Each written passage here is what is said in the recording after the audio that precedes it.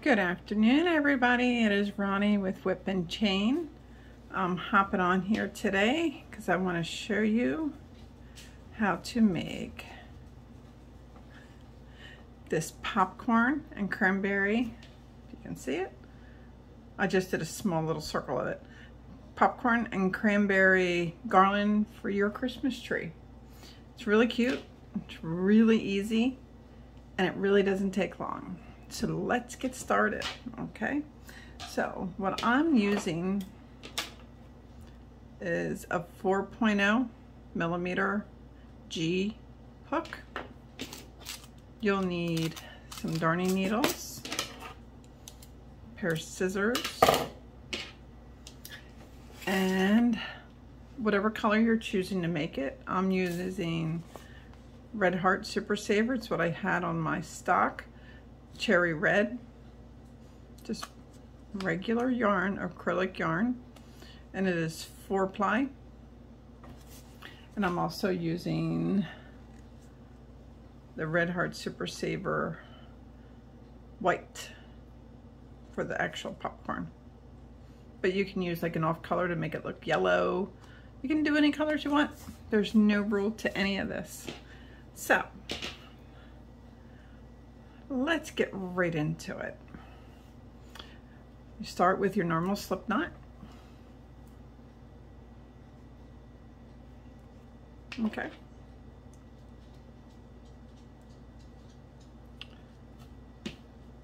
And I need you to chain 12, please.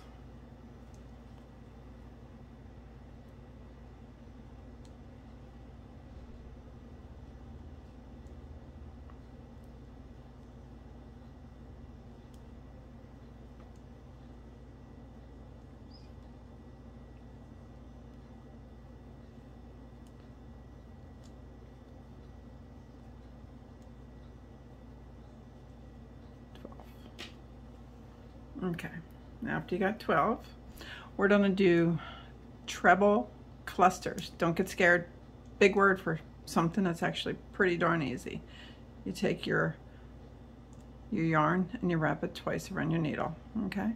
Let me see if I can bring in just a little bit more so you guys can see. Wrap it twice. Then I want you to go in a third chain from the hook. Put it in, grab your yarn, and come on out. Then you have four on your hook. Okay? You wrap, go through two, wrap again, go through two, and you hold it right there. Okay? Now I want you to wrap your hook two more times again. go in that same chain, grab yarn, come back up. Then you'll have three, five on your hook. I need to push this back. I think I keep going off here. Then you wrap your hook, you go through two, you wrap it, and you go through two again. Now you'll have three left on your hook. One more time, wrap it twice, go in that same chain, grab yarn, come on out, wrap, go through two and two. And when you hold it, you will have four loops on your hook. You wrap your yarn around your hook, and now I want you to go through all of them. You wrap and you make three chains. One, two, and three. And that locks that in there, okay? So then I want you to come down in the same spot where you did that treble cluster. Go in, you grab yarn, and you slip stitch. All right, then you go to the next chain, you go in, you wrap, come through, and you slip stitch again. And then chain three. Don't worry, I'm going to do this with you. I would never leave you. Okay, now we're going to do another cluster. Wrap twice. Go into the same chain that you did that last slip stitch. Grab and come on out. wrap the yarn, you go through two and two. It's always two and two. So you wrap it twice, go in, grab it and come on back. You'll have five, wrap it, two, and two. Now you have three hooks, three loops, sorry. Wrap it twice and we do it one more time.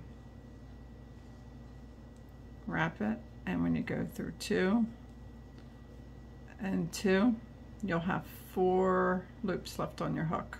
That's how you know you're done. Then you wrap it and you go through all four. And you always chain three to lock that in.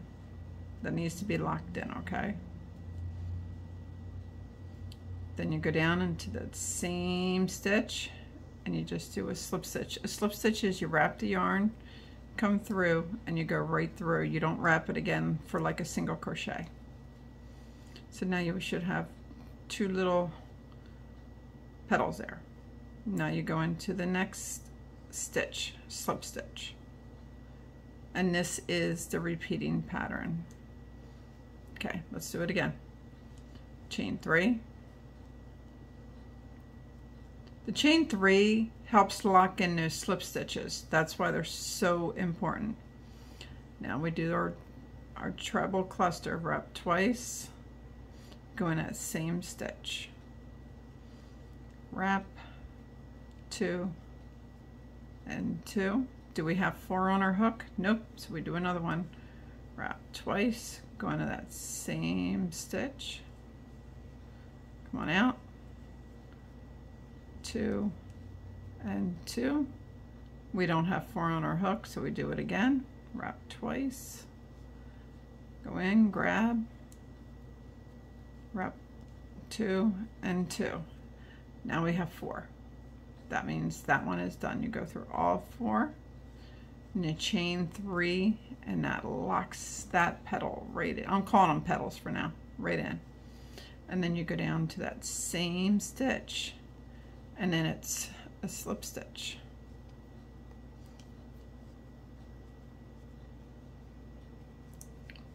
Okay. I'm going to the next chain and another slip stitch. Let's do another one together. Chain three. Those chain threes lock everything in so they stay nice and tight. Time for the treble cluster. In, two, and two. Wrap twice. Two, and two. Do we have four on our hook? Then we do it again.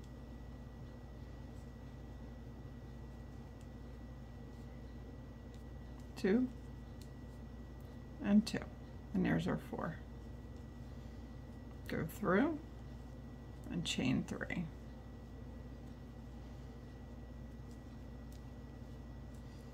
Now we have four. Looks like a flower almost.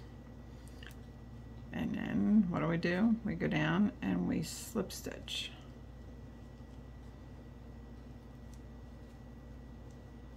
We go back into our chain and we slip stitch to the next one.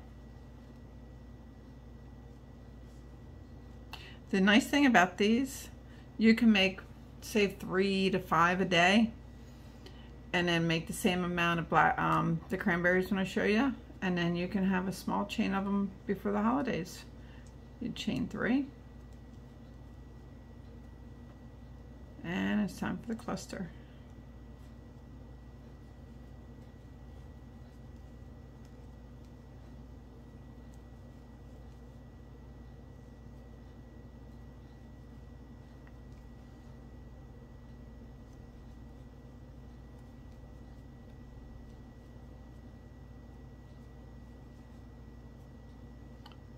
Hook. I keep going off camera today. I'm telling you, I can be loopy sometimes, I guess. I don't even need anything to help me do it. Two, and two, and you have four. Go through all four, And what we do, we chain three. After the chain three, it's two slip stitches in first in the stitch that you did, that whole cluster on. Then you go to the next one. Another slip stitch and chain three.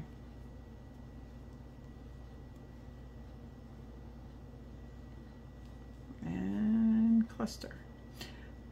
Now I'm just going to continue and I'll talk to you as we're going down. Keep going, you do this all the way to the end, okay? Same pattern. And once you do this, I sit in front of the TV and we can watch our shows, talk about things, and I don't even have to think too hard because I know what I'm looking for. I'm looking for four loops on the hook. So we're able to do other things. So this is a very nice pattern. And they really do look like popcorn. Two slip stitches. One in the one that I did. And one in the next one. So I think with the stiffening projects of the snowflakes and I'm doing a candy cane. I, I tried the glue method.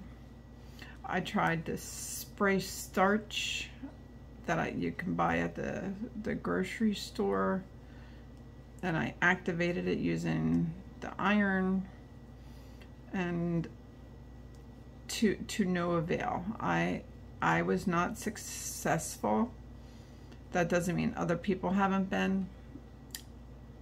I, if they are, then I'm obviously using the wrong supplies or I'm missing a step somewhere. Um, I'm doing something wrong. But so I've opted to do the, the starch, equal parts of starch and uh, water. And then you heat it up in a pan and then you have to let it cool a little bit so you you do not burn your fingers. And that really works good. So I will be doing a tutorial on that, but I want to get, since you're making a batch of it, I, I really don't want to waste it. This is a continuation and my camera stopped. So I want to get as many snowflakes done as I can.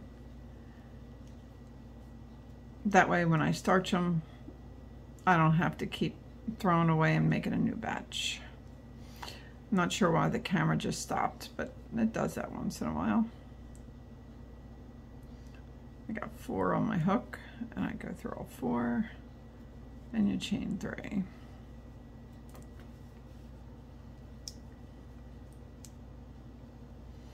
And you slip stitch. Slip stitch to the next one. And you keep going. Chain three and I'll be right back when I get to the end. Okay did my last flower petal. Then you still want to chain three in your very last chain. And then I you need to slip stitch back down. But after you slip stitch you take both your ends, you wrap it around your hook, slip stitch, well, chain through, okay? I want you to cut it. Now you should have 10 of these little petals, okay? One, two, three, four, five, six, seven, eight, nine, ten. I have 10. So then you interweave this anyway, twist it, do everything you want to it any way you want to make it look like a popcorn. Then you take these two ends and you wrap them around the petals. And then what I do is I make a knot.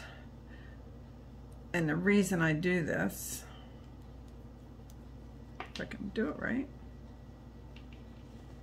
it holds your popcorn really tight. All right. Popcorn is not something that you need to starch, obviously. So once you got it nice and tight, trim off your excess ends and squish it around to make yourself happy. And it actually looks like a popcorn. I've tried to do it with the 3.5. I just don't like them as much, but you can try. Now let's do the cranberry. The cranberry is very simple, simple, simple, simple, and it's really fast. So let's do it. Start with your, your slip knot, same hook, same scissors. Okay.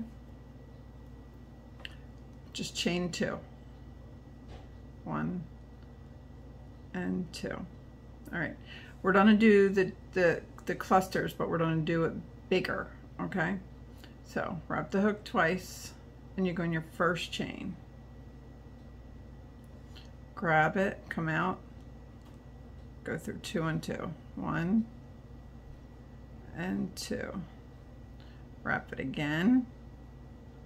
Go in that same chain, come through. Two and two.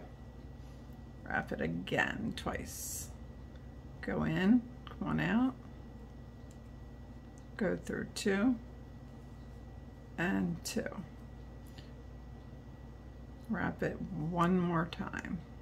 Go in there, grab it, come on out. Wrap it, two and two, okay? One, two, three, four, five. One, five, okay? You wrap it, you go through them all. Now I want you to lock it in with one chain, one chain only. Then what you do, you go through here, the beginning chain where you started, the whole cluster, go through, grab the yarn and come on through and through. And then you take both strands, you wrap it, and you go through like a chain. You cut your string, your yarn, pull it all the way through. Okay, now what I do is I take my crochet hook and I go through the center of the ball, wrap my yarn, come through, bring that yarn all the way through the center of that ball because it actually adds a little stuffing to it. Okay, there's your little ball. Cut your string, your yarn. I keep on a string today. And there's your cranberry. Okay, popcorn and cranberry. So then all you need to do, you can take fishing line. Maggie suggested thread that you uh, thread that you uh, sew with, but I tried it with. What am I doing? Thinking I'm crocheting again. You just thin it through the head.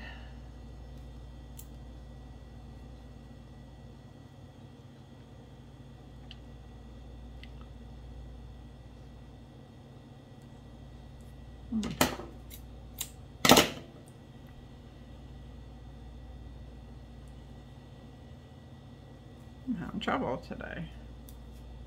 There we go. And all you do you find this, the center of your popcorn and you pull it through. And then your, your cranberry too. And then you just keep rotating. You can do two cranberries or two popcorns. What You do whatever your heart desires. But that's all that you need to do to make the popcorn garland. I look forward to seeing comments and seeing lots of pictures. And remember guys, we are doing a free giveaway of projects that we have made monthly. Maggie will be handling it. So please come follow us on WIP, WIP, and Chain on Facebook.